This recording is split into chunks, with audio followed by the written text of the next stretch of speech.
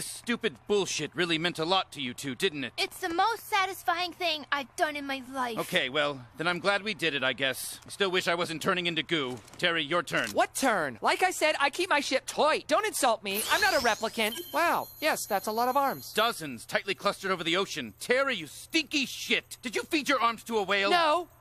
No. What did I do? Gladwell. What's a Gladwell?